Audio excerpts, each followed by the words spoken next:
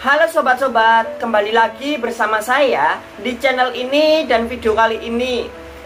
Kembali lagi Anda bertatap muka dengan saya.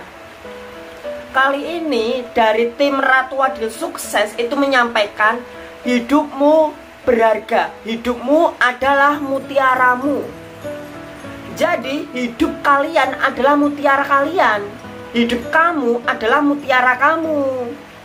Kok bisa Dengarkan penjelasan dari tim Ratu Adil Sukses. Hidup adalah sesuatu yang berharga, bernilai, dan sangat berarti.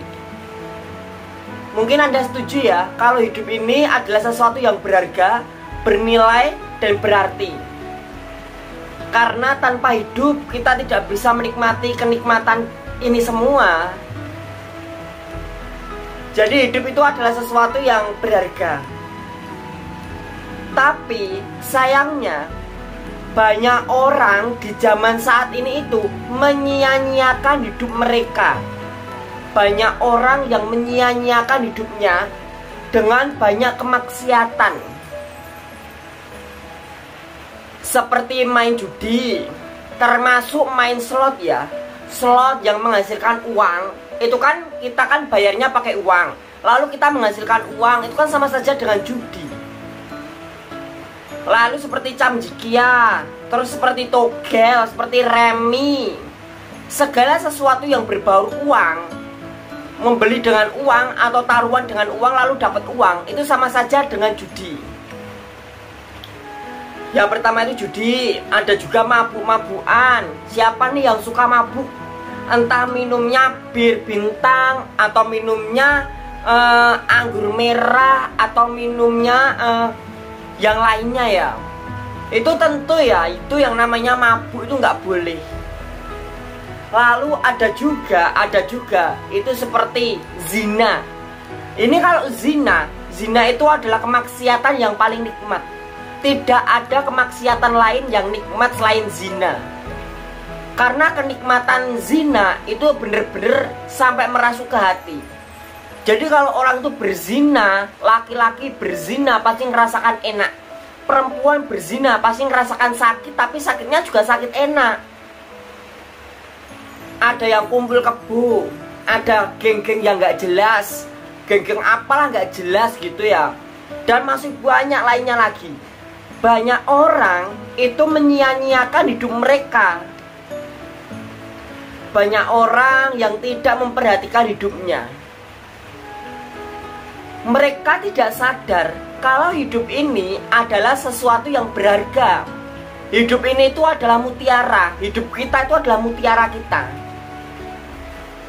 Kita adalah mutiara, mutiara-mutiara ilahi, mutiara-mutiara Tuhan baik dan buruknya mutiara itu, baik dan buruknya mutiara kita, hidup kita, itu tergantung dari cara kita, tergantung dari proses hidup kita.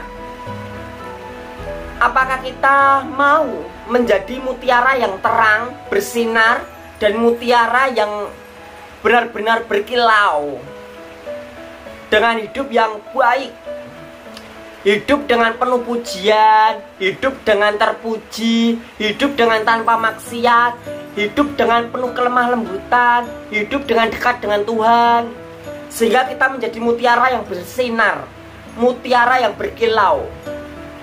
Ataukah kita mau menjadi mutiara yang rusak? Mutiara yang rusak, tidak bersinar, tidak berkilau, kusam, kotor, di mana kita itu akan berzina, melakukan banyak maksiat, mabuk-mabukan, judi, dan lain sebagainya. Ingatlah, hidup kita adalah mutiara kita. Di mana baik dan buruknya hidup kita, indah dan tidaknya mutiara kita, itu tergantung kita sendiri.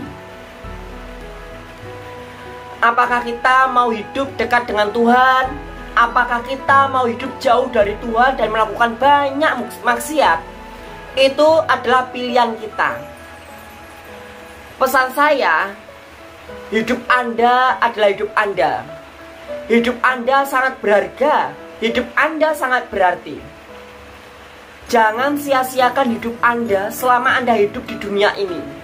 Karena Anda hanya hidup di dunia ini satu kali saja. Setelah Anda mati, Anda akan mendapatkan pengadilan. Jadi Anda hidup di dunia ini itu cuma sekali. Jangan disia-siakan. Jangan dibuang-buang. Karena apa? Supaya nanti Anda akan happy ending. Jangan sampai endingnya itu malah membengkak jangan sampai endingnya malah menangis jangan sampai endingnya itu malah tersiksa kita semua kan maunya kan happy ending ending yang bahagia akhir yang bahagia semua orang tuh maunya seperti itu semua orang tuh maunya akhir yang bahagia bukan akhir yang menderita maka dari itu jagalah hidup anda dari segala kemaksiatan jagalah diri anda Jagalah hati Anda, jaga pikiran Anda. Hidup Anda adalah mutiara. Anda itu adalah mutiara. Anda mutiara, mutiaranya Tuhan. Apakah Anda mau melayani Tuhan? Apakah Anda mau mengabdikan hidup Anda untuk Tuhan atau tidak? Itu keputusan Anda. Tapi yang jelas, hidup Anda itu adalah mutiara Anda indah dan baiknya di hadapan Tuhan itu tergantung Anda. Maka dari itu, jadilah pribadi yang berkualitas. Berkualitas secara jasmani, berkualitas secara rohani. Percuma saja kalau jasmaninya berkualitas tapi rohaninya tidak berkualitas itu sia-sia. Sama, kalau yang berkualitas hanya rohaninya dan jasmaninya tidak berkualitas itu juga sia-sia. Karena yang namanya berkualitas itu harus keseluruhan. Kalau jasmaninya berkualitas, rohaninya juga harus berkualitas. Kalau jasmaninya tidak berkualitas, ya udah rohaninya nggak usah berkualitas. Karena apa? Kualitas jasmani dan kualitas rohani itu adalah satu paket.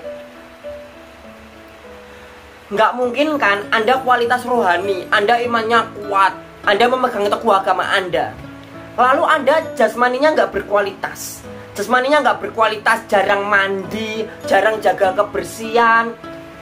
Jadi kan gimana ya rasanya? Padahal di agama kita diajarkan kebersihan. Kita diajarkan mandi.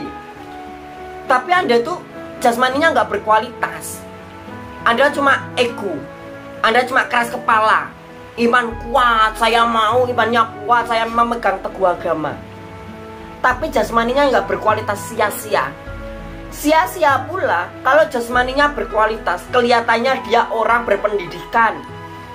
Kelihatannya dia S1, S2 berpendidikan. Wah dia menjadi manajer dia menjadi staff dia menjadi mandor dia menjadi apa dia menjadi karyawan yang berkualitas dia menjadi kualitas anu, karyawan teladan. Sia-sia kalau jasmani anda berkualitas tapi rohaninya nggak berkualitas apaan? Kayak gitu. Kelihatannya aja dia berkualitas. Wah lulusannya S2 tapi maksiatnya zinanya minta ampun. Dia aja dia aja wanita yang murahan. Ah sama laki-laki itu mau sama laki-laki ini mau sama si dia mau sama si itu mau. Dia wanita seperti itu kalau ngelihat sontong langsung reaksinya huh? Berkualitas apanya? Kelihatan aja fisiknya bagus. Kelihatan aja tubuhnya seksi bagus. Kelihatan aja cuma S2 S1 tapi karakternya busuk. Jadi kualitas itu diperlukan menyeluruh. Kalau jasmaninya berkualitas rohaninya harus berkualitas. Kalau rohaninya tidak berkualitas jasmaninya ya jangan berkualitas. Untuk apa kita harus benar-benar menjadi mutiara yang terang, berkilau, bersinar. Banyak orang yang akan mengagumi, banyak orang yang akan salut, banyak orang yang akan melihat perbedaan hidup kita. Banyak orang akan melihat sinar hidup kita. Kalau kita hidup kita itu bersinar, karakter kita, perilaku kita, pemikiran kita, semuanya bersinar. Dan orang-orang akan menyaksikan sinar hidup kita. Jangan lupa klik like dan subscribe video ini, nyalakan lonceng notifikasinya dan komen di kolom komentar.